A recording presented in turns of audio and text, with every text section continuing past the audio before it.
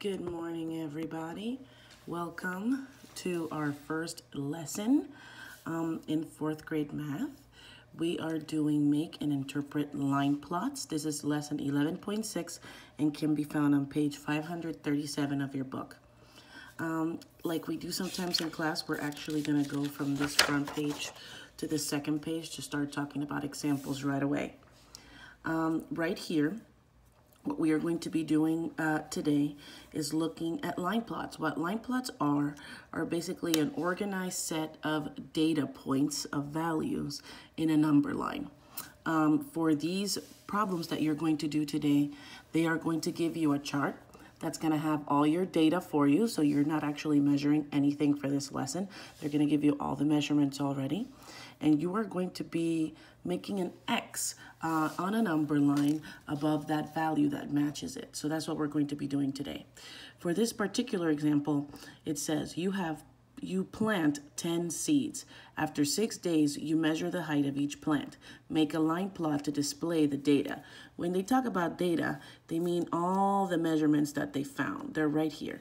And they measurement they measured it in inches, okay? So you don't have to measure those plants. They already gave you those plants. Now it says it, that you planted 10 seeds. That's why I have 10 fractions because they measured each of those plants what once they grew okay? Now, one of the first things that I'm gonna show you here is that in your number line, all the fractions down here are in eighths, okay? But the data set in here, this data set, all the fractions together, they don't all have an 8 in the denominator. Well, we have to turn those fractions that don't have an 8 into the denominator into fractions that do have an 8 on the denominator. That's called equivalent fractions. Two fractions that look different, but they're actually the same value. So this one's fine, 1 eighth 3 eighths, 3 eighths. Now, 1 half is not an eighth form, but I know very well that in order to make a fraction that is equivalent to 8, all I have to do is multiply the top and bottom by the same number. So if I want the denominator now to be 8, what do I multiply 2 by to get 8? I go 2 times 4. So I multiply the numerator also by 4. 1 times 4 is 4. So suddenly 1 half has become 4 eighths. I can see that this is a half and this is a half as well.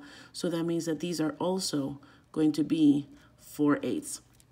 The last one that doesn't have an 8 in the denominator is this one. We need to turn it into an 8. So how do you go from 4 to 8? You multiply by 2. So 4 times 2 is 8. So 3 times 2 is 6. Now all of my fractions have a denominator of 8, so I can start putting an x on the number line for them. So here is my number line. It goes from 0 to 1, and here are all my fractions represented. So here's what I'm going to do. 1 eighth is right here. Let's see if there's another 1 eighth in my chart. Nope, there's only one. So I'm going to go to where it says 1 eighth, and I'm going to draw 1x because there's only one plant that was 1 eighth. Let's see if there's any 2 eighths. I'm going to look in my chart. Nope, no 2 eighths. The next one represented would be 3 eighths. Let me see. There's 1, 2, three, four of those three eight plants. So I'm going to say one, two, three, four. Four X's for that.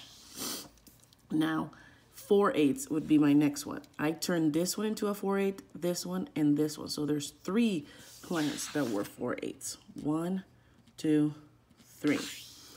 Next one would be five eighths. Let me see if there's any five eighths in my chart. Yes, there are. There's one of them right here. So I'm going to do 5 eighths. Okay, the next one would be 6 eighths. That one we turned into 6 eighths, so there's one of them. Is there any 7 eighths? No. And is there any wholes? No. So if there were 10 seats, there should be 10 X's. 1, 2, 3, 4, 5, 6, 7, 8, 9, 10. So the number of fractions you have here should match the number of x's you drew because it'll match the representation.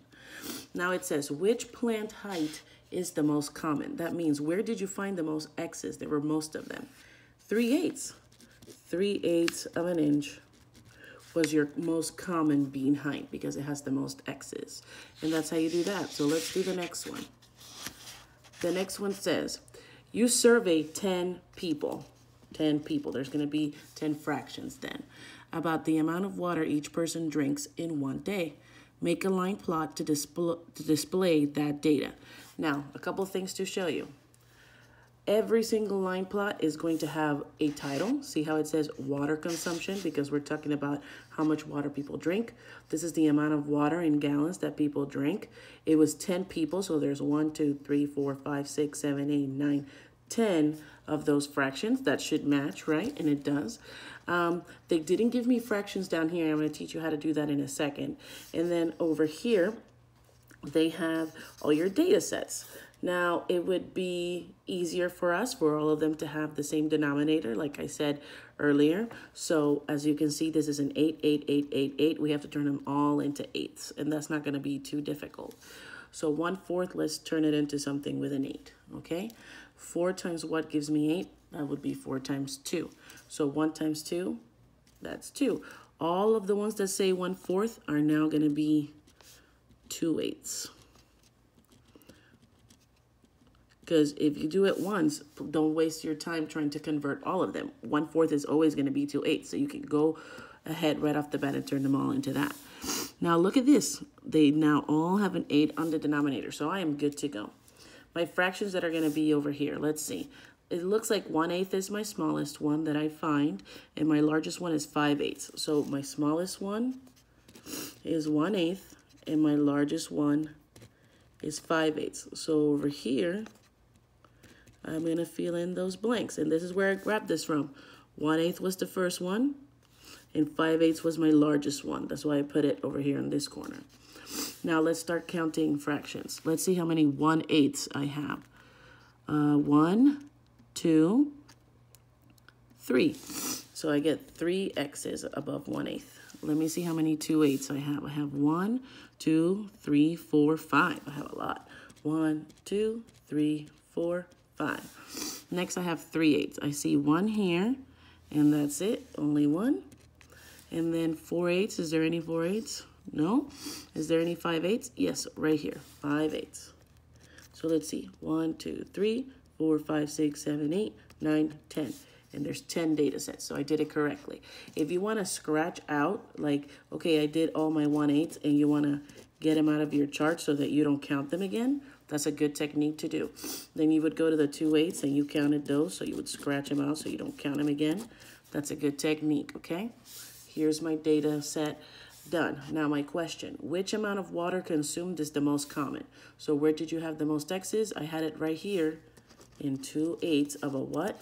Of a gallon. Make sure you include the um, measurement unit. Great. Now let's turn the page. I'm going to do two more problems with you. I'm going to do this one right here on page 539 and this one right here on page, um, um, still on page 539, but problem number three. Okay, so here we go. The table shows the lengths of 10 chameleons in a pet store. Make a line plot to display the data. 10 chameleons. So how many data uh, points do we have to have? 10. Let's see. 1, 2, 3, 4, 5, 6, 7, 8, 9, 10. Good. That means that they match and they should match. The amount should match. Um, we they give us the chameleon lengths. That's the title. They didn't give us the fractions here, but we're going to fill those out. Um, but like I said before, the first thing that you should do is make sure all the denominators are the same. So 8, 8, 8, 8, 8, 8, but I have some 4s. So I have to turn the 4s into a denominator I can use, which is 8. So how do you go from 4 to 8? You multiply by 2. So do the same thing to the numerator. 3 times 2, that would be 6. Are there any other ones I need to convert? Yes. And it's the same one. So I can just write 6 eighths, 6 eighths, 6 eighths. Just like that, everybody now has a denominator of 8. I am good to go. So what do we put over here? Let's see. The smallest fraction that I see is 4 eighths. So I'm going to make this first fraction right here 4 eighths then 5 eighths, 6 eighths, 7 eighths. And this is not 8 eighths. This is actually going to be one whole, although we know that's equivalent to 8 eighths, okay? We're talking about inches, so you can see the length here is in inches. Now, the easy part. Let's see how many of each fraction we have. We start with 4 eighths. I see 1 right here and I don't see any more. So only 1x, and I can scratch that out so I don't use it again. Next would be 5 eighths. I see one here, 1, 2. I see 2, so I'm going to be 2 x's. Scratch them out so I don't use them again. Next would be 6 eighths. I see one, two, three, four of the 6 eighths. One, two, three, and whoops, four. Very good. And next, uh, actually, let me scratch those out so I don't use them again. Next would be 7 eighths. I see one, two, three. That was my last one. One, two, three. Now let's count make sure that we have 10 x's. 1, 2, 3, 4, 5, 6, 7, 8, 9, 10. Perfect. My question, which is the most common chameleon length? So where are the most x's, the most common? That would be 6 eighths, but really that was 6 eighths originally was 3 fourths of an inch. So you want to make sure that you pick what the original fraction was. We turned it into 6 eighths, but initially it was 3 fourths of an inch. All right, and one of the last problems that I'm gonna do with you before the video's done, that's number three. Here we go. A scientist is studying the weights of 15 sugar gliders. Ooh, 15, so now we have more data points. That means that we're gonna have 15 fractions here and 15 x's on this side. Make a line plot to display the data. So sugar glider weights, because that's what we're talking about, is going to be in pounds. That's why it says pounds right here. We don't have a fraction, but we're going to find it right there. As we've done before, we want to make sure that all of these fractions have the same denominator. So I'm going to choose 8 as my denominator. Now I got to turn all these silly 1 fourths into a fraction that has an 8. I'm going right off the bat next to all those 1 fourths and turning them, whoops, that wasn't one, into 8s, okay? Cool. How do you go from 4 to 8? You multiply by 2. So you do the same thing to the numerator. 1 times 2, 2. So I'm going to make all of those 1 fourths